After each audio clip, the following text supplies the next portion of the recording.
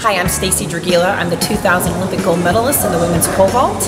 And I live here in Boise, Idaho, and you guys are here inside my new facility. I've known Dr. Joseph for a long, long time. I first came up to Idaho State in 1992 and was on the track team.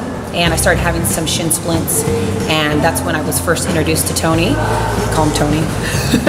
um, and so we worked on orthotics, and then from there it progressed to other things. As an athlete, you always have bangs, you know, bruises here and there, and I've just been always under the care of, of Dr. Joseph and really trusted and respected his, his quality of work and the attention to detail that he gives every athlete.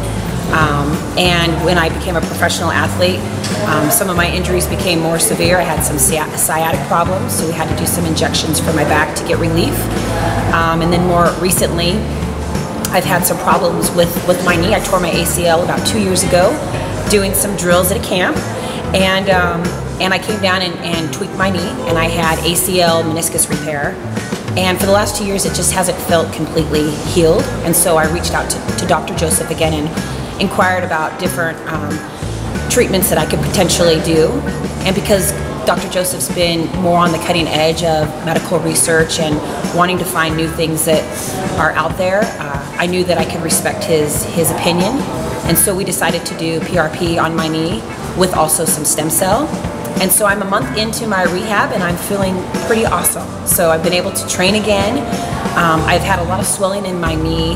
Um, and, and Dr. Joseph said that the swelling in the knee is a part of the healing process, but he also found that there was still a tear on my meniscus. So we injected the meniscus with some stem cell and the PRP to help the blood flow um, and that stem cell to actually repair that, that piece of cartilage. And so now the swelling is less, my knee is more mobile, and I'm able to do a lot of the training that I used to do as an athlete because as I'm coaching now, it's still fun to be able to show a lot of my high school kids the drills that we're trying to execute in the proper positions. And it's a good way for me to stay in shape.